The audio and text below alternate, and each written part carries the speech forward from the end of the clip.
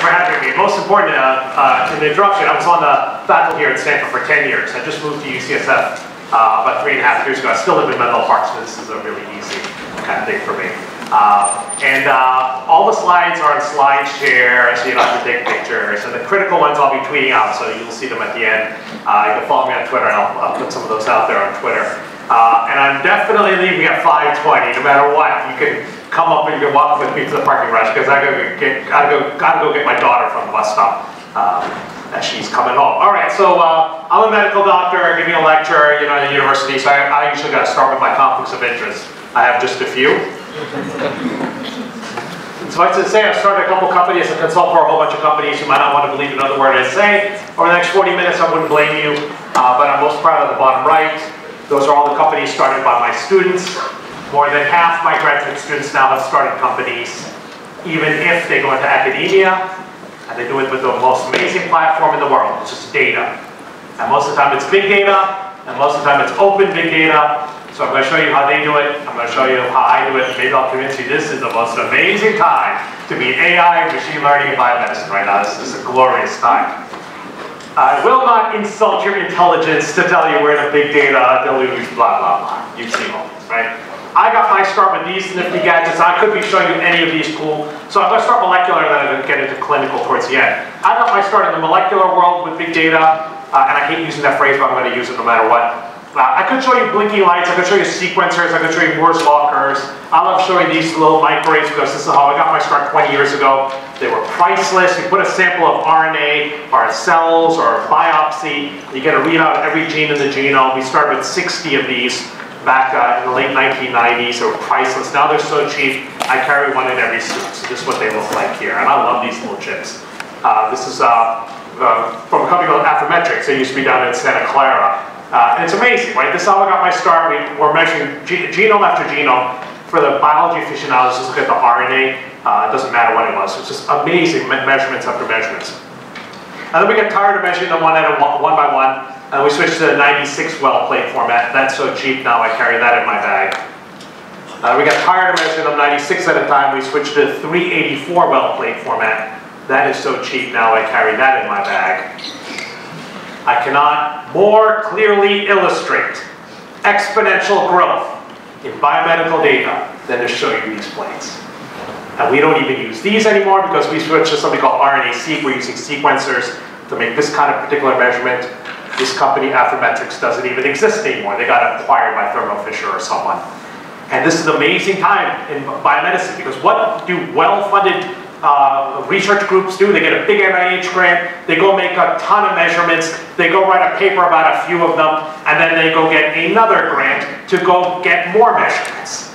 And we're accumulating all these measurements, right? In the biology labs all over the place, or in the hospitals all over the place. And what happened is, for this particular modality, everyone started writing papers about this kind of, you know, these lists of genes and these gene chips. Here's a list of genes that change in cancer, and here's a list of genes that change in heart failure. And here's a list of genes, and there's a list of genes. It started with the journals.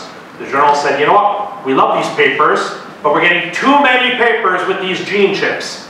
No more papers with gene chips, that's it. Unless you put this data in an open international repository where all the reviewers can double check the math, and maybe others can use these samples for something else. And the precedent for biology and medicine has always been if you got enough people using a molecular modality like this, you got to share the data. It goes back more than 50 years. And this is how I got my start in this in my career, because everyone started sharing all this data like crazy. So I started my career around here, and uh, August of 2012, this paper came out, featured a whole bunch of us at Stanford, when we hit 1 million samples publicly available. That means a million biopsies, a million cell lines, a million mouse models, a million samples publicly available, all de-identified, you can't figure out who these people are. But this is the this is the amazing this is the amazing time here, right? Because a lot of times in the CS world, you keep thinking, I'm just waiting for data, I'm stuck, I can't do anything with data. We're drowning in biomolecular data. You just gotta know where to look for this data. And the hardest thing is then, what do I ask? What, what's the question I want to ask? The question is the hardest part here. But we're drowning in this kind of data here. So let me just point out a couple quick examples because maybe uh, the rest of the folks are pretty uh, clinical. I saw the, I heard about the rest of the speakers. So let me point out some amazing data sets. Cancer Genome Atlas, TCGA. 14,000 cases of cancer just sitting there waiting for you to machine learn. 39 different kinds of cancers, all the different head, neck, and lung, and bladder, and 13 types of data, so RNA, DNA, methylation, even images, mammography, brain scans. They give all this data away. Yeah, you gotta fill out some paperwork to get to some of this. It's only paperwork, you can get to that. PubChem is another one I love from the drug side. Any of you heard of PubChem? PubChem, okay, so uh, it's amazing. You can get these cells now, cell lines to glow, you know, like with some green fluorescent protein, and you can program them to glow if they're living or glow if they're dying. The minute you can get cells to glow, you can shove them in front of robots to test a thousand drugs, a million drugs. But if NIH funded you to do that, you got to share that data in PubChem. Okay, so fast forward, what is PubChem now? Think of a big grid of a quarter billion drugs tested, those are the columns, 1.3 million robotic screens, those are the rows. If you do that math, there are 300 trillion little boxes in this grid, of which a billion of them have been tested. This drug and this screening assay, this drug and this screening assay, okay? Of the billion, 1.2 million of them were active, so the scientists said, oh yeah, this drug is working in this screen. And of the quarter billion substances, 71 million meet something called Lipinski's Rule of 5. That means you can make an oral drug out of it. It's orally absorbed. I can easily bet you a beer, this beats any pharmaceutical company out there, okay, in terms of their screen, right? How many robotic screens can a pharma company, ah, hell, I can bet you a bottle of wine. This beats all pharma companies combined, all of this drug screen. Because this is doubling every two to three years, and nothing in the pharma discovery world is doubling every two to three years. Probably every future drug that we're going to be caring about is one of the columns in this grid and they give this data out to you without a user ID and password. You can literally go SFTP this whole thing. It might take you a couple weeks. They give it to you without a user ID and password. Right? You should never be a CS student and think you're still waiting for data. There's plenty of data out there, right? The next blockbuster drug is sitting there in a column in this grid waiting for you. It's just sitting there waiting for you, the machine learning. Where do you find all these data sets? Where, where do I find all these data sets? And I'm going to show you what we've been doing with this data sets. If you ever get stuck, like where do I find data sets? This is a very obscure journal. People ask me this all the time, so that's what I'm telling you. Nucleic acids research. It sounds incredibly basic biology. But the January issue of NAR is called the database issue. That is the issue where all, every article there is just on all the open data sets out there in biomedicine. I strongly recommend if you're starving for data for any projects, go to NAR, just go to the January issue. And to give you an idea, the last time I looked, there were 1,600 papers in that one issue, right? Publication, 1,600 papers.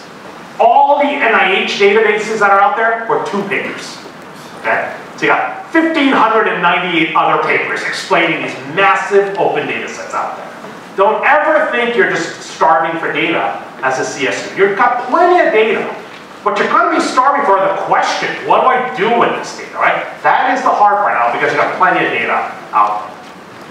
What are we trying to do with all this data? Well, in the biomedical world, no one else has mentioned yet, precision medicine is the big buzzword now, right? President Obama mentioned this about uh, three years ago. Uh, Governor Brown mentioned this four years ago, right? We have a whole state initiative, federal initiative. Precision medicine is the future where it means we're going to customize the medical care we're going to deliver to a patient. We're going to customize the medical care based on measurements from the patient, obviously. Obviously, there's some biological measures like DNA, proteins, right? But they're going to be behavioral measurements. They're going to be lifestyle measurements. They're going to be preferences. You know, as a patient, I can tolerate this kind of side effect. I really don't want this kind of side effect, right? We're going to get all that maybe from questionnaires and smartphones and wearables.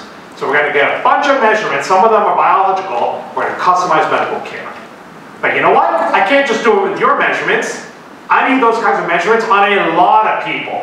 And even more importantly, I've got to figure out what medical care did I give to all these people, and what's working and not working, and how do I apply it all to you, right? I can't just do it your measures. I got to know, I got to have a huge database of just what's been working in medicine and how does it connect to all these measurements, right? That's the hard part. The seminal report for precision medicine was in 2011 from the National Academies. It's a great report. It really outlines what the next 20 years of biomedical research is going to be like. And this is one of the key figures. It's kind of a no-brainer. These are the three challenges of precision medicine. We need better diagnostics, we need better treatments, we need to figure out our outcomes, like what's actually working and not working. So all I'm going to do for the rest of my time is give you anecdotes of how we're using all this data to make better diagnostics, make better treatments, figure out all our health outcomes, okay? And all of this is from the National Academy report, which I recommend. Let's get to diagnostics first. So what is a diagnostic? A diagnostic is a way for a health professional, a nurse, or physician to tell if you have a disease or not, right? You might have imaging diagnostics. I know you've been talking about images, medical images, pathology images. You might have blood tests. And so I love protein diagnostics. Some of you might remember, uh, either it's happened to you or maybe if you're old enough you have a child. You know if you have a sore throat and a fever, right? The doctor can stick this Q-tip back there in your throat and put some drops and tell you have strep throat, right? You've had that done, right? It's called a rapid strep test. I love those tests. That's called an ELISA, enzyme-linked immunosorbent assay. That's 1970s proteomics technology. I love that stuff because it doesn't need a refrigerator, it doesn't need a cold change. That, that test works in the desert. I love making those kinds of tests. But how are you going to tell what to make the drops on? How do you actually tell which proteins to go after? We're going to use all this data, public data, to figure out from the RNA side, if you're a biological uh, aficionado, you know RNA codes for protein, we're going to use. So I just started, my first big grant when I was at Stanford was go get every human disease studied by these chips. Just go get them all, right? Cancer, heart disease, and we started to collect all the experiments for some of the disease and healthy at the same time. And you subtract them out, you get a, a signature. People have been doing that forever. but one of the most important things you're going to realize, and this is going to be one of the themes of the talk here, is that we're so drowning in data that I don't have to trust any one data set anymore. I pick any disease, there are probably hundreds or thousands of people who've already studied it, and I got wisdom of the crowd here okay? So I don't have to just pick one data set. Uh, there might be thousands of people who made the same experiment from their vantage point, publicly available. I could use all those natural differences to really figure out what's going on. So the, the main methodology I, I use a lot, besides machine learning, is Venn diagrams, right? What's in common across all these experiments here?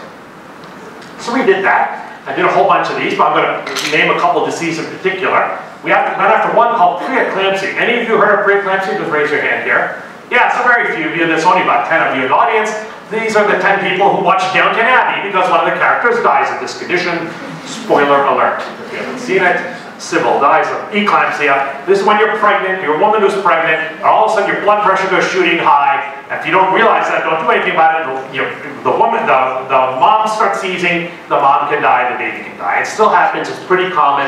Uh, and what we have to do is take these babies out incredibly early and keep them uh, disease-free for months uh, until they're uh, well enough and big enough to go home. Now there are four drugs already in trials in the United States for preeclampsia, but the diagnostic we're using is ancient. We just look for urine protein. It's not even a specific protein, just is there protein in urine? Probably the most non-specific test we have in today's obese America, where a lot of people have protein in urine. so we wanted to make a blood test for preeclampsia. Linda Liu was a grad student. Bruce Ling is still here, faculty member doing the proteomics. Matt Cooper got involved in a moment, but he got, uh, you'll see in a moment how he got involved. What do you do first? You just type in preeclampsia, preterm birth, prematurity. 266 public experiments where people have already used these kind of gene chips. Here's 299 samples, 249 samples, 154 samples. You pick and choose which one you want. You figure out some quality measures there put them all together, figure out what's in common, right? I don't trust any one of these experimenters. I love that they're sharing their data like they're supposed to, but I'm going to figure out what's in common. What do all of these researchers see that's in common? Wisdom of the crowd. You chase it down. Here's one example of a marker, a protein marker called hemopexin, up in preeclampsia compared to normal healthy pregnant. Very simple, very simple. Uh, uh, so basically, this is like a uh, uh, a lasso type of supervised machine learning problem here, very simple approach here. March funded a Spark is one of our seed grant programs that we have here at Stanford. Uh, what do you do next year at Stanford? You start a company on this. So this was one of the two StartX companies that I started with, the, with uh, Bruce and uh, Linda and uh, Matt Cooper was the CEO. Uh, we, so we, you're going to see a couple of these arrows. We start with unmet need, public data available, got the grant money. Uh, Linda helped uh, design the diagnostic, figured out the, the, the, core critical set, you know, lots of variables there. Got Spark uh, grant for $50,000 uh, test samples in the freezer. Launched, got $2 million, and the science continues in the startup company here. Now, I love this startup company. Because you can see on the right here, it's already been acquired. So you know what that means, right? So we went from public data, which people still amazingly think is as valueless as kitten videos on YouTube. We went from public data to the acquisition of the company in 24 months. Okay? Inventors happy, investors happy. Of course, we're going to do more of these, and I'm giving away the secrets here, guys. Okay? Because everyone of you can take all this public data, make another diagnostic for a different disease, and we'd never step on each other's toes. That's how many diagnostics we need in medicine. And literally, this data is just sitting there, waiting for you. Okay? Literally just waiting for you. All right, that's a diagnostic story. We're going to do more of these. Therapeutics, drugs, way worse. If I were to ask you, if I asked lay people, how much does it cost, how long does it take, how much does it cost to make a new drug? Maybe you've heard it takes a billion dollars in 10 years to make a new drug. Have you heard that phrase, right? Some of you are nodding. Billion dollars in 10 years. A billion dollars is an underestimate. Underestimate, okay? How do you get the right number? Really simple math, even for this late in the day. Okay, here's the formula. How much did you spend? Divide by how many drugs did you get? Very simple math. What did you spend divided by how many drugs get? Uh, Matthew Harper does this every couple years in Forbes, and he puts out this list. And for these top 12 companies, it costs between 4 billion and 12 billion dollars per drug. Per drug. Kind of not sustainable. Just not sustainable. We're going to have to come up with more efficient ways to find drugs. Of course, big data, public data, open data, ML, AI, everyone's talking about that. I think an article just came out last night. There are 120 companies now thinking about ML, uh, AI for drug discovery. All sorts of different angles. I know Daphne was already here probably talking about in and many other companies like that here. So, there, so we started to do our this while I was still here at Stanford. And as we're collecting all of this disease data, people just started dumping drug data onto the internet right? This is the Broad Institute and all these great labs that are out, out there, testing cells with drug, without drug, with drug, without drug. So on the left we got with and without disease, on the right we got with and without drug, and we're gonna put these two together, and literally the reporters for this call this match.com for drugs, literally, right? Because you got this disease that needs a drug, how do you find a match here? I'm gonna show you all the bioinformatics with my arms. If I've got a drug, a disease where this gene goes up and this gene goes down, and I can find a drug now in my catalog that knows how to make this one go down and this one go up, maybe there's a match there. It's as naive as that, finding drugs that reverse the effect of the disease. And you can imagine all the machine learning methods you need. I'll give you this high level, Kolmogorov-Smirnov test and Pearson correlation coefficients. It doesn't matter, so many ways to do this. It's not hard to do this, which means the harder part now is to try these out in actual mice, okay? Because we're not going to put these into trials, you're going to have to test these predictions in actual preclinical models here. Uh, I want to make sure you guys, guys get that point. It's super simple now to do the, the computational side of this. The harder part is getting enough kind of courage to actually try this in a mouse.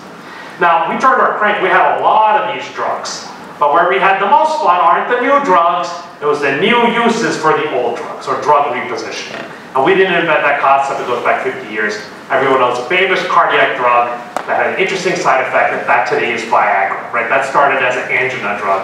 Of course, Viagra, minoxidil, and many others. So we turned our crank, okay, here's one, we've done more than a dozen of these in mice now. And almost always we get something that works. Uh, this one just came out last summer. Um, here's a nasty condition called uh, liver cancer, hepatocellular carcinoma, liver cancer. Liver cancer affects 350,000 people a year, uh, but mostly in India and China, not in the United States. And maybe cause and effect consequences of that, there are basically no companies working on drugs for liver cancer. It's not a US problem, right? This is how it is sometimes. So someone's going to have to make a drug for this, right? Why not us? So we turn our computational crank we get this prediction, niclosamide. So that's a, that's a drug for worms. If you got too many worms in your GI tract, or in your pet, you can use niclosamide for that. Um, the computation prediction says that works. This is a cancer, this is a liver uh, with uh, cancer all over the place going crazy. Niclosamide's slightly better, but not really better. Niclosamide ethanolamine, NEN, is a particular salt. You mix with the niclosamide, you can take this by mouth. You don't even need an injection. It's much better. Glowing cancers, without drug, with drug, you can see some of the mice are doing much better. And we do have one drug for nicolosamide called sorafenib. A nasty drug, doesn't really work that well. So we said, let's try that, the, the mice with both of these. So here's no drug, nicotinamide, sorafenib, they're both kind of better than nothing. But combined, they're better than either one separately. So we call that synergy, right? That means the two drugs are probably working two, two totally different ways. So we're going to run the clinical trial, we're going to put these two drugs together. Remember, nicotinamide purely came from computation, doing this kind of match, public data, everything's in the publications here. That's cool.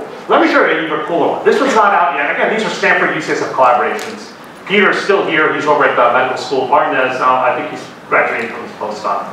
This is a disease called psoriasis. Have you heard of psoriasis? Show of hands. Yeah, a couple of you, more of you. Uh, uh, psoriasis is like when your skin gets red and uh, kind of plaquey and itchy. Uh, it's, it's an autoimmune condition against your skin. Your body starts to kind of uh, attack the skin in some ways. And so this mouse has been uh, engineered to have psoriasis. Now look, I'm a computational guy. I'm neither a psoriasis guy nor a mouse guy. I don't know. I mean, the hair kind of looks weird compared to this. I can't really see the fingers. I can see the fingers here. This mouse, I guess, has psoriasis, okay? Now here, if you give the same mouse this old drug, this is a 1960s diuretic. In other words, in the 1960s, we used this drug to make you pee. We have much better ways to make you pee in the hospital. We don't use this drug anymore. But this is what we used to do. To get fluid out of you, we use this drug. And whether you give it orally or topically, uh, the, the mouse is all better with psoriasis, okay, compared to this. Now, you could argue back to me, if you were a biotech company, you would say, why are you trying to find a new drug for psoriasis? They'd love to sell me a anti-IL-12-23 monoclonal antibody at $50,000 a year. Why don't you just use that? Immunosuppressant, wipe out the immune system. Of course the psoriasis gets better, right? Because they have this drug, it's super expensive, monoclonal antibody.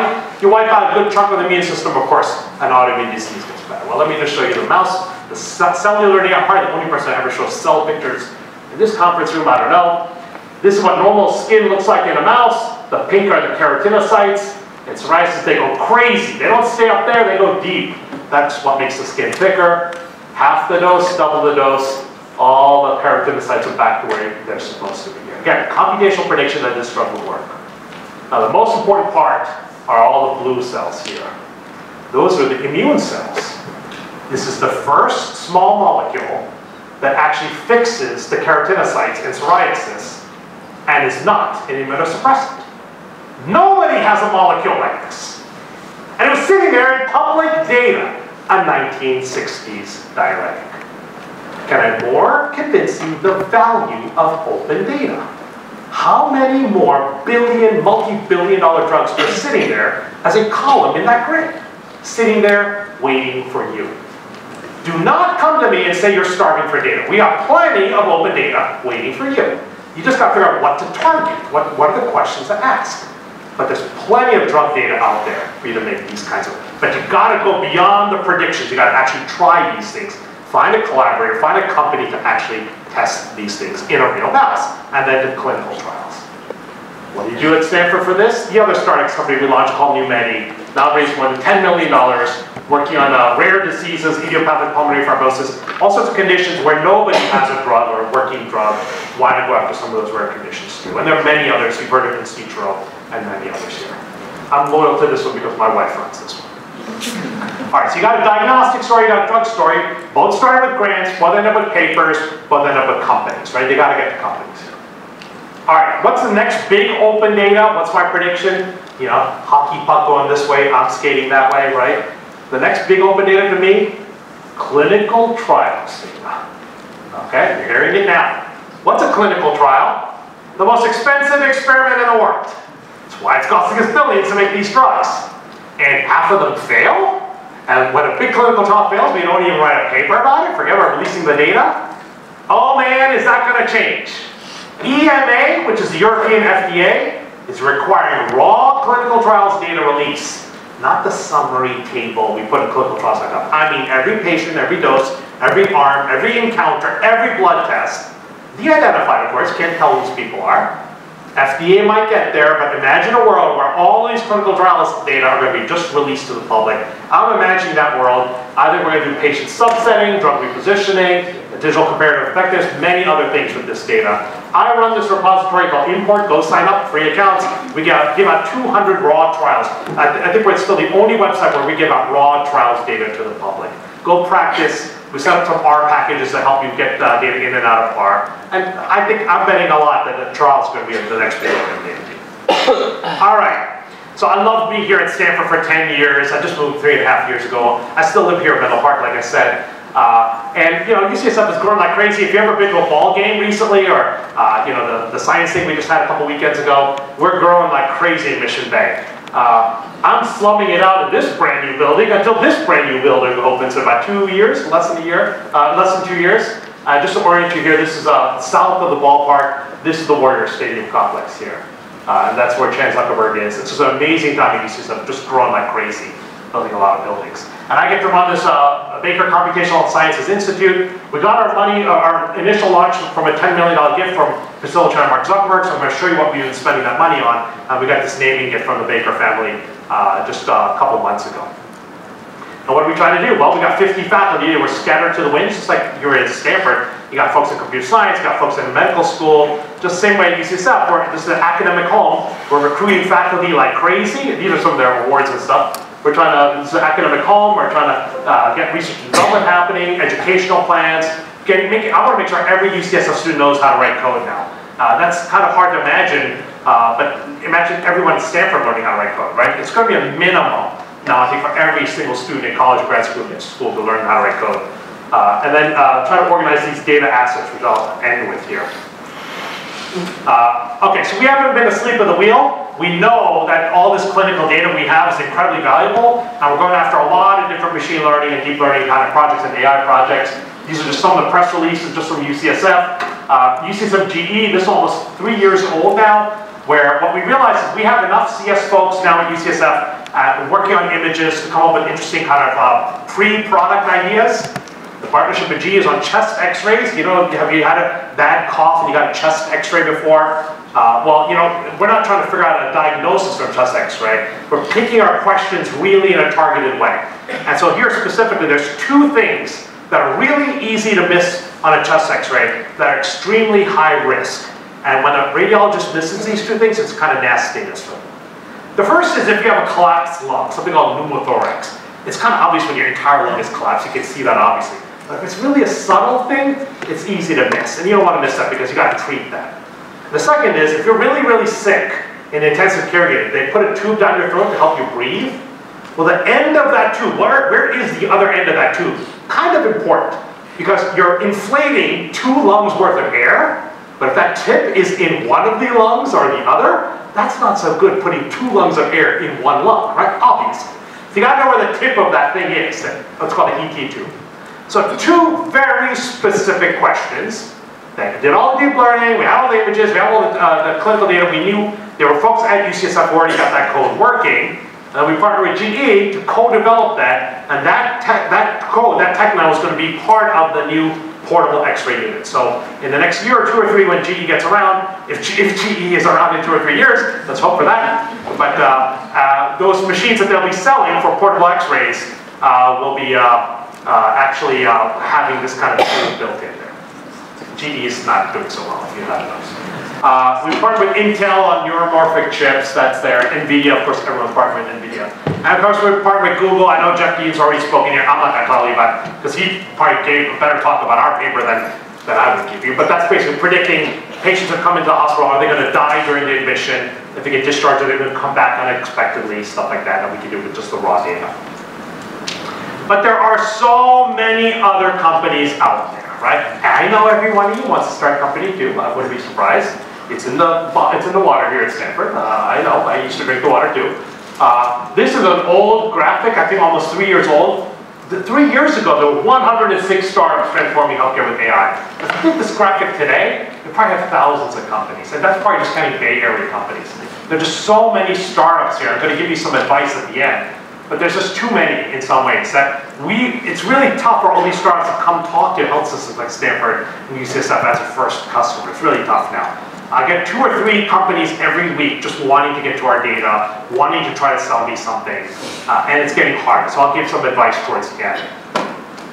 All right, so now that's UCSF, and I love UCSF, and it's great, and they got a new building, and I get to recruit faculty. But the real reason I left Stanford wasn't because it was just a move to UCSF. They taught me about something even bigger. So, you know, I know the Cal Stanford thing with football, right? But I never really knew what UC really was until I moved there. The University of California actually has 10 campuses. Six of them are medical, and four of them are not medical. It's like Berkeley, Santa Cruz are not medical. UCSF Medical, UCLA, Irvine, Davis, San Diego, Riverside, those are our six medical schools. And if you look at it, we also have the three national labs, three supercomputer centers. We've got uh, 200,000 employees. Actually, we're one of the larger employers in the United States. I have quarter million students a year. I got the six medical schools. We train a whole bunch of docs who actually practice, which makes you think like, you know, if we teach them about data in medical school now, they're going to be amazing docs when they get out. Uh, a lot of funding, and they're not lousy medical schools either. We're some of the best in the United States here. And so what they, what they brought me in to do was to help get all the data from all of the medical enterprises together in one place. Okay? A central data warehouse for all clinical data for the entire University of California health system. Right? So I wouldn't be a CS guy if I didn't show boxes pointing to boxes. So here's my boxes pointing to boxes. UCSF, UCLA, Irvine, San Diego, Riverside, UC Davis. All six of those now have Epic as an electronic health record system. So does Stanford, so does Lucile Packard we love it or hate it, it doesn't matter at this point. And all of them, Epic has really taken over the world in a kind of not so good way, but it doesn't matter. They already won that battle. But we got all this data now, all feeding into a central health data warehouse. Now look, there's a national narrative out there that it's so hard to get health systems to share data, and everyone says it's a tech problem. We don't have standards, whatever. That's so wrong, okay? It's really, really easy to get, get health systems to share with each other when you have a business reason to do it. Okay? And we have a business reason to do it. Right? We've had academics wanting to share data for a long time. We've kind of made some progress, a lot of good progress. But the minute we now decided two years ago that the entire University of California is going to make single, a single accountable care organization, something called an ACO. Right? It's like an HMO, but even beyond. An ACO. We're going to have a single ACO aspirationally, five or 10 years from now, right? But we're going to have something called UC Health, where in the future, it's not like you're going to UCSF or UCLA, you're going to go to UC Health. And the minute you've made that business decision, it's so much easier to share the data. Because all of a sudden you got to figure out, well, how do we practice medicine? Well, at UCSF, we take care of transplant patients this way. You take care of them that way in UCLA. That's kind of weird. Or San Diego, you take care of colon cancer patients this way, and we do it this way, and we're kind of weird. Right? The minute you've decided you're going to be one big organization, you got to figure out how you're practicing medicine together, and you got to put all that data in one place to start to compare. So it's much easier to share data when you have a business reason. The corollary to that is if there is no business reason to share data, it is almost infinitely hard to share data, right? Because you can write all the code you want, the CEOs are not going to want to share data if they're competitors, right? It's not a code problem, right? It's because you want to share data, it becomes easier. All right, so where are we now, right? So the University of California, we've got the six medical schools here. We have a total of 15 million patients in our system, at least with some diagnoses, some meds, some birth date, some MRN, uh, first name, last name. So that's 5% of the US population. Right? 5% of the US population has gotten some care of California. This is probably one of the larger data sets that's out there. Here are some of the numbers here. We're using OMOP. So, of hands if you've heard of OMOP. Boy, who's been giving you guys lectures here? You better learn OMOP. Okay, this is the vendor-neutral way to store patient data. Okay, we're not going to pay any more money to Epic or Cerner or all the rest. Health systems that are organizing their clinical data, we're going to use OMOP. Okay, even Google, when they sell health system stuff, they put OMOP everyone's moving to OMOP. I strongly recommend, if you're going to get into this any further, learn about OMOP. Because it means we don't have to pay another dime to Epic. We've paid enough. Uh, we got five, more than five million patients with modern data, quarter billion medications we've ordered, half a billion vital signs like pulse and respiratory rate, half a billion diagnosis codes, half a billion blood test results. Huge numbers, right? Huge numbers, and that's what it's going to take to teach computers about medicine. Yeah, we got dashboards and stuff we're making.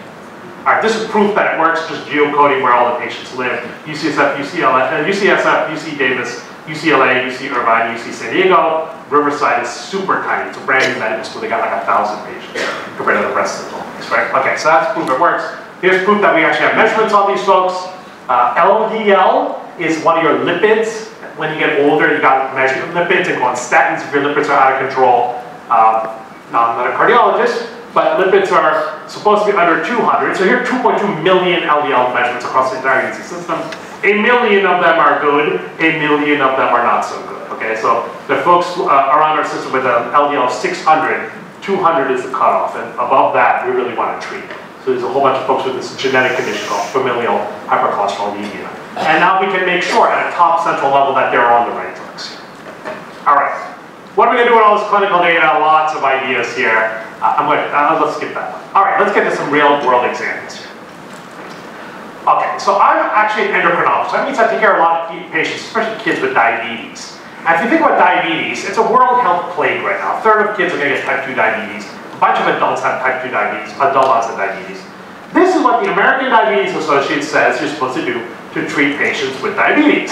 This is how a lot of medicine aspires to, is to have a nice fancy pastel diagram like this. we have plenty of diseases where we have no such diagram, so we're lucky to have a diagram.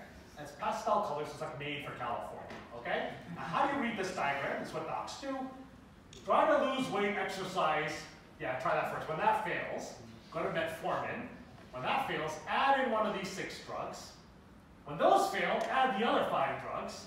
When that whole thing fails, go to metformin and insulin at the bottom. So this is like a pachinko machine, if you know what I mean, like the ball goes different paths right? That's kind of interesting. So you got these six boxes in the middle here, and we're kind of curious, well, which ones do the doctors actually choose? Right? It says, well, it depends on a variety of patient and disease-specific factors. In other words, it gives you no real help. And super important today, because some of these boxes cost 200 times more than some of these other boxes. but they're all in the equal size, they're all the same kind of pastel colors. You would never know that, okay? But some of these are super expensive compared to some of these others. So a simple stupid question we asked was, what do our actual doctors do? Right? What did they do at UCSF here? Which ball, how does the ball fall through the pachinko machine here? All right, so this work by Tom Peterson, and you might have seen some of these graphics before, I'm not sure. Uh, uh, so we used to call these diabetes donuts, but that would be inappropriate for diabetes. So now we call these lifesavers, okay? And, and I think of this like a pie chart, and pie also is inappropriate for diabetes. But there are 12,007 type 2 diabetes patients here. It's like a pie chart. So a third of them, what's the first drug we use? A third of them are metformin. Okay, good, that was at the top. A third of them are on insulin. That's kind of weird. Okay, a smaller group are on sulfonylureas. That's okay, I guess. The, purple one here, DPP-4, that's a very expensive way to start people. And the slices get smaller and smaller. 12,000 patients here in this ring.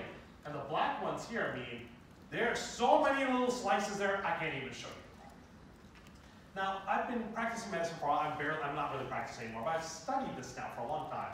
I'm starting to realize more and more medicine is like playing a game. Okay? And I'm not saying playing a game like to belittle having a disease. It's rotten to have a disease. But a lot of medicine works like a turn-by-turn -turn game. We make a move, and then we wait to see what does the patient do, what does the disease do, and then we make another move. It's a very move-based game, actually, if you think about it. Right? So if you're in hospital, the doctor comes in the morning, writes some orders, they wait to see how you're doing, they come back the next morning, they write some orders. Or if you go to a clinic, they say, okay, here's some prescriptions, come back in 30 days or 90 days. We'll see how you're doing, we make some more, right? It's turn by turn. And so here, we've made a move now in this virtual game. We send the patient home, they come back in 90 days, here's the next move. Okay, so everyone here, that one move was perfect. We've seen them back, we've never had to tweak the dose of metformin. Yellow to yellow means they're still on metformin, but we had to tweak the dose a little bit. And any other color switch means we added a drug, changed a drug, subtracted a drug, right? We have to do something more than just change the dose. Okay, we send them home, we come back in 90 days, here's the next move. We send them home, we come back, and here's the fourth move. So here are four moves out in this game. 1,600 different ways to treat type 2 diabetes. And you see something, just count how many spokes there are here. We have 1,600 different ways to treat diabetes. Probably too many. Can we get that down to like 500, maybe one? Right, maybe 10, I don't know if we can get down to one. But this is unnecessary and ridiculously expensive practice variation. And now we want to start to compare the strategies against each other, right? And if I can do this for one campus, oh, I can do this with all the campuses here, right? So here are all 71,000 patients now, all campuses, and we have 6,500 different ways to do this. Right? It's even worse when you add the other four campuses. Probably too much unnecessary practice variation, but this is medicine today. Okay? We're not all following one set of rules here. Now remember, I said this is like a game, right? And so some of you know how we teach computers how to play games, right? We, but way before deep learning, right? You can just do move trees, you can start do search strategies, right? This is literally how games, uh, I mean, Go is a lot harder, but checkers, chess, you can solve just simple decision trees. Just model out what move, I make this move, the computer makes this move, I make this move, and the computer can figure that out going far into the future. I start to think of medicine the same way. If we make this move, what's the patient likely to do and the disease likely to do, what's the next move, what's the next move? I think we can learn how to play this game from all this data we have. And here's a simple example of that. Remember those yellows, right? Half of the people with yellow did fine, half we had to do something else with. Can we like learn that pattern? Man, you don't even need deep learning for this. It's a simple decision tree.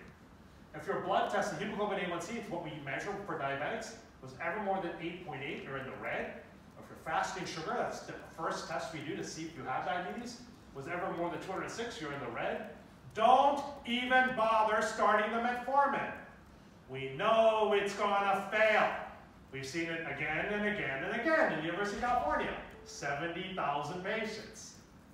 What was the next move you were gonna make? Make it today. Get this patient to therapy 90 days sooner, right? At least. So we are moving from this expert-driven world, right? And believe me, the rest of medicine is still trying to aspire to the expert-driven world, to a data-driven world, where we've tried all these strategies empirically we can see what's working. It's amazing. African Americans do better this way. Asians do better this way. We can learn this from 70,000 patients with diabetes. Now imagine this for every decision in all of medicine. That's what we're trying to try to do. Okay? All right, so precision medicine practice. The doctor of the future is going to say, I need a drug for patient with diabetes, rank order one, two, three, stimulated forward. This is the way it's going to actually work, what's not going to work. All right, I'm going to end with this concept here, maps. What am I trying to do? I'm going to uh, make maps of death and disease. Somebody use Google Maps, right? I know if you're on campus, you don't really need Google Maps, right? But the rest of you, if you want to get off campus, you need Google Maps. Somebody use Waze. Few of you use Apple Maps. I'm stuck using Apple Maps in my car, but you know, there's still, it's actually getting better. So you understand the concept of maps, right? So usually you use Apple, you use Google Maps as they to take you to a pleasant destination. I'm trying to make a map from the data of how you get diseases and die in the state of California, the opposite of Google Maps, okay? So here's data from real California data. You can get this off the internet, discharge data. What we've learned, Hannah and Jay did this. Patients up with alcoholism, they start on this map. A year after that, they have liver disease or cirrhosis. A year after that, they have liver abscess, which can come straight down here. And the squares mean you can die of those conditions. So we have a lot of patients showing up with alcoholism. It's really hard to die of alcoholism. It's much easier to die of these conditions, right? You can come this way or that way. Each arrow is a year. All right, here's a more complicated map. Patients showing up with heart attacks. You can die right away. Everyone kind of understands what a heart attack is. Or a year later, we end up with heart failure. That means the heart as a pump is too weak. It's not going to be able to pump the blood the body needs. You can die right away. The fluid backs up into the lung, causing lung disease. And then you die in three years of sepsis, body-wide bacterial infection. Nasty diagnosis code to have. 50% mortality rate in the United States if you have this diagnosis code, okay? Now look, I'm a pediatrician. Didn't really see a lot of patients with heart attacks. But I always thought if you had a heart attack, it was the heart that killed you in the end. And indeed, it's not the heart, it's three years later, it's the sepsis, it's the infection that kills you. I Didn't really realize that. I don't really think we're looking for sepsis in a lot of heart failure patients, right? And if you don't take the northern route, you can take the southern route, kill your kidneys, and end up with sepsis a year earlier. So that's why you got two arrows. So we're going to build these maps. We're going to learn where you are and what might happen next. But you know, as pretty as these maps are, we don't want to just make the maps. We got to see where the patients are actually on the map, and that's what we're planning to do. Here's a real prototype with real California data. As patients are getting older, the colors get brighter, and this is literally how patients move from disease to disease to disease to death. A whole bunch of them are going to get sepsis there in a moment and die. There they go. Everyone chuckles, don't worry. And now we can start to predict what's going to happen in the next 90 days, what's going to happen next year, and what are we going to do about it. And that to me is going to be a new definition for an accountable care organization, one that knows how to account for the care of each one of its 15 million patients. That is what we're building with all of this tech in University of California. All right, so too many other data sets to talk about, too little time left. I'm going to end with this one slide here. I'm tweeting it out, so don't worry, you don't have to uh, write this down. Machine learning lessons I've learned in healthcare the last 20 years. Get the question right, okay? Don't come with the platform. Get the question right. Solve the problems that healthcare professionals actually need solved, okay? And don't just ask one doctor, ask two, okay? Because there are plenty of kind of docs who want something solved. Get, get it from two people that is actually a good problem to solve. Building a great diagnostic is very different than understanding the biology. Again, I'm going to go down to the tech for a second here. You might know about lassoed variables and want the tightest possible way to predict something, yes or no, right or wrong. That's great. That's a really simple diagnostic, but when you're surveying the biology and looking at what's going on, you want all the variables, not just the Lasso lassoed slider section. Biologists and medical professionals love explanations over black boxes. Something to think about in today's deep learning world. People talk about alchemy here and all that, and it's, you know what I mean there. But we, we love the explanations, not just saying, yeah, it's going to work. Watch out for input limiting models in medicine. Patients barely type in the right codes for their symptoms. And they barely enter their own race and ethnicity. 30% of patients show up in the emergency room here or at UC. They don't even tell us their race and ethnicity. Forget about entering more than that. And docs, forget about trying to ask them to enter more. Okay? They will just shoot you if you say, spend another two minutes with Epic. So watch out. If your model needs more input, watch out. Learn what IRB, HIPAA, BAA, ICD-10, CPT, CLIA, and CAP are, okay? You gotta walk in knowing what those vocabulary words are and learn patience because it takes us time to warm up and to trust you, okay? Because this is sensitive data, we have a lot of damages against us if there's a breach, so we gotta learn to trust you. Not all of us are cloud allergic. Don't come to say, you have X working, now we're the cloud version of X. We're priority thinking okay? Cloud is not a big deal for us anymore. Not everything needs deep learning, Having all data on everyone is super rare. Like you just don't get genomics and images and longitudinal EHR data on everyone. There may be like 100,000 patients in the country with all of that. Data integration harmonization can happen if there's a business reason for it. I already told you that. A trillion dollars is spent on Medicare and Medicaid, especially Medicare, those are older people. Think whether your parents would use it, okay? You don't know what you're trying to build. You're trying to sell company. Think if your parents would use it. That's a trillion dollars spent every year on Medicare. Platforms and their companies are just getting more and more commoditized. With plenty of people, grad students, who graduate saying, yeah, I got Spark working, I got Hadoop working, I want to do this for you, right? Come to us with more medical knowledge and background, right? We, we tend to teach, take with more respect those folks who know something about biomedicine too, right? Care, convince us you care about this as a vertical. Show us we're going to learn more from you than we're going to have to teach you.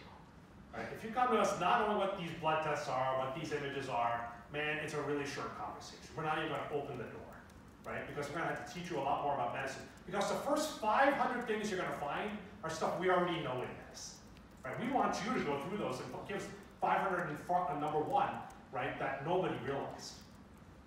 And healthcare inefficiency is not about friction. And let me just end with that one concept here. Right? It's so easy. We're on an engineering quad here. Right? You look at medicine, you think, oh my God, what an archaic system. You think of, you know, these gears that are rusted. Right? Oh my gosh, if I just add some oil, everything will just turn so efficiently. Friction is the wrong model to think about healthcare. It's not friction. It's resistance. Okay? We do not want to change the system. Right? Nobody in our system today is burning money on the front lawn right? It's someone is making every dollar in the system of the $3.2 trillion system. Nobody's burning money, right? So if you're talking about changes, it's going to be shuffling money, taking money away from people who are earning that money today. Be ready for fights. Pick the side you're going to be on and realize who your fights are going to be against. You cannot, if you think it's all come by, yeah, I'm going to make everything great in healthcare, you're not going to go very far. right? It's about struggles for those dollars right now. And so, yeah, tug of war, of course, get these off the internet. And in general, these are the three kind of sides of the triangle. You got pharma, biotechs, and devices over here. Healthcare providers, like Stanford, UCSF, and Kaiser here. And payers, and uh, uh, pharmacy benefit uh, managers over here. Strangely missing are patients and businesses who you think care the most, but are the most underrepresented, okay? So these are three that are driving here. Not one of the three, technically, wants the game to end, right? Point to which one of these wants us to spend less in healthcare. Right? It's not gonna happen. What happens is two of these are always ganging up on one. These two against one, these two against one. Pick the side you're gonna be on against another side and help that side figure out what they can do to be more efficient. You cannot make the whole system more efficient because everyone's earning those dollars. Let me just stop end there. Ah, let me skip over. All right, I gotta thank a lot of people who make this data warehouse possible. A lot of collaboration at UCSF and Stanford, NIH, I thank a whole bunch of folks who give us money here to get us uh, some of this work. So let me just stop there and take some questions.